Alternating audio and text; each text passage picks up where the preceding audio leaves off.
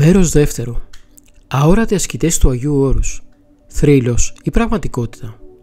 Τι αποκαλύπτουν οι γέροντες του Άθωνα; Οπωσδήποτε, πολλοί εκ των αναγνωστών του παρόντος πονήματος θα έχουν ακούσει ή διαβάσει έστω και μία διήγηση για τους αόρατους ερημίτες του Άθωνα.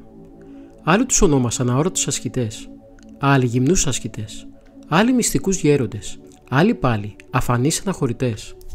Πρόκειται για ομάδα ασκητών, οι οποίοι είναι 7, κατά άλλους 12 και κατά άλλους 10, οι οποίοι διατριβούν σε ερημικότερε περιοχές της Αθωνικής ερήμου και είναι αόρατοι από τα μάτια των ανθρώπων. Ένας προσκυνητής, ανερχόμενος στον ανηφορικό δρόμο από την παραλία προς τη μικρή Αγιάνα, συνάντησε τούτους τους Αγίους περιπλανηθεί στο δάσος και θέλησε να τους ακολουθήσει. Αλλά εκείνοι του είπαν ότι εσύ αδελφέ προορίζεις για τη σκήτη του ξενοφόντος και του έδειξαν τον δρόμο για να πάει στον πνευματικό Παπασάβα να του πει εκείνος τι θα κάνει. Ο προσκυνητής, αφού απομακρύνθηκε λίγο από τους Αγίους αυτούς, μετανόησε ότι άφησε και έφυγαν τέτοιοι Άγιοι. Γύρισε πίσω και για πολλή ώρα τους αναζητούσε, αλλά δεν τους βρήκε πουθενά. Τότε πήγε στον Παπασάβα και του ανέφερε την υπόθεση. Ο Παπασάβας του είπε: Εσύ, παιδί μου, δεν είσαι για να τους ακολουθήσεις, αλλά θα είχες καμία αμφιβολία αν υπάρχουν τέτοιοι Άγιοι σήμερα στο Άγιον Όρος, και για τούτο ο Θεός τους σου ανέρωσε. Εσύ θα καταβιώσεις τη σκήτη του ξενοφόντος. Και πράγματι τούτο έγινε διότι ο αδελφός αυτός έγινε στη σκήτη του ξενοφόντου μοναχός. Το γεγονός αυτό διηγήθηκε ο πνευματικός Παπακάκιος από την Καψάλα, άνθρωπος πολύ ενάρωτο και φιλαλήθης, ο οποίος γνώριζε τον άνθρωπο που είδε τους Αγίους αυτούς και ο οποίος του διηγήθηκε την υπόθεση αυτή όπως λεπτομερώς έγινε. Τρία χρόνια άρρωστος ή τρεις μέρες στην κόλαση. Ο συνασχητή του γέροντος Δαμάσκηνου, στον Αγιο Βασίλη Πάτερ Ιωάννης, υποτακτικός του γέροντος Ιωσήφ, διηγήθηκε το ακόλουθο γεγονός που έλαβε χώρα πριν από 70 χρόνια στη ρωσική σκήτη του Αγίου Ανδρέου, στο λεγόμενο Σεράγιον, ως εξής.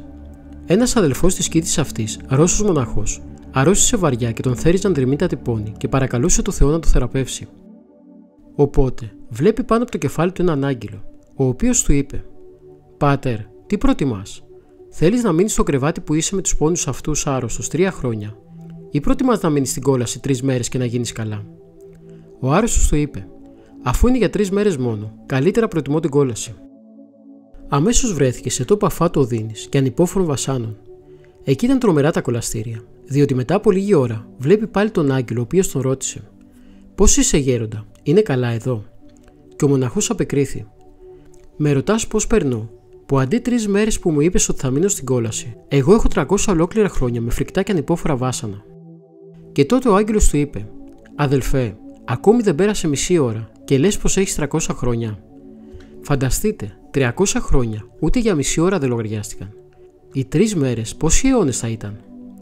Και ο μοναχός είπε στον Άγγελο: Γρήγορα σε παρακαλώ να με πας στο κρεβάτι του πόνου. Καλύτερα εκεί να βασανίζουμε τρία χρόνια, παρά εδώ στη φοβερή αυτή κόλαση τρεις μέρες. Τότε ο Άγγελος έκανε την επιθυμία του μοναχού και τον επανέφερε στο κρεβάτι του, όπου έμεινε επί τρία χρόνια άρρωστος. Επειδή μερικοί άνθρωποι είναι δυνατόν να φανούν κάπως δύσπιστοι στο διήγημα αυτό, για τούτο κρίναμε σκόπιμο να καταχωρήσουμε στη συνέχεια επιστολή του Θεσπέσου Κυρίλου Πατριάρχου Αλεξανδρίας, την οποία μετέφρασε ο δάσκαλος Αγάπιος, ο Κρή, στην απλή διάλεκτο, η οποία έχει ως εξής. Διηγείται ο Άγιος Κύριλο Αλεξανδρίας σε μια επιστολή, όπου γράφει στον ιερό Αυγουστίνο, και λέει ότι τρεις άνθρωποι ανέστησαν εκ νεκρών, ή κρίμα είναι ο Θεός είδεν, όταν πάντα προς το ημών συμφέρον οικονόμων, ένας από τους οποίους επήγα και ήβρικα, ως τη θρηνή, απαρηγόρητα. Και ρωτών αυτόν, δεν μου αποκρίνα το τίποτε. Μόνο έκλαιε. Τέλος πάντων, αφού ευαρέθη την αυθάδειά μου, γιατί τον όρκησα εις τον Θεό, να υπεί λόγων την άι ωφέλεν των παρισταμένων, μου απεκρίθη ως εξής. Αν ήξερες τα συμμορία του Άδου, δεν ήθελες να δυνηθεί να κρατήσεις το πένθος ούτε ποσός, αλλά από τα πάκολα αστήρια θα να είναι τιμασμένα τη αμαρτάνουση. Λέγω σου, να είναι μεγαλύτερα από όλα αυτά τα αυτά τα πρόσκαιρα.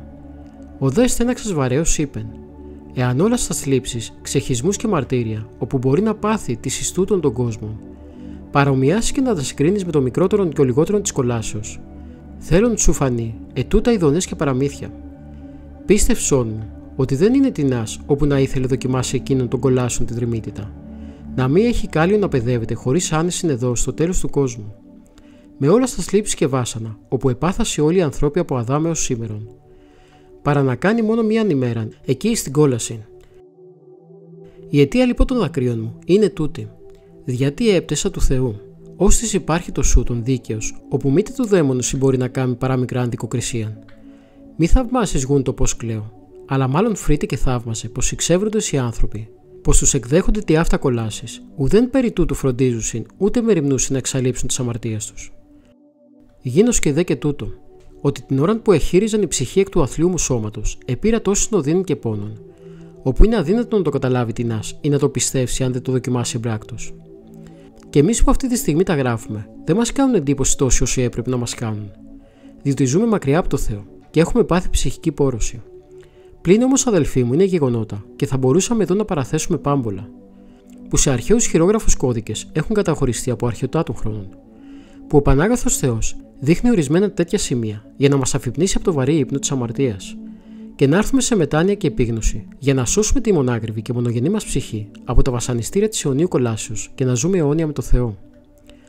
Όμως αυτές τις ιστορίες θα τις παραθέσουμε στο τρίτο μέρος του βίντεο, όπου θα δημοσιευθεί σε λίγες μέρες.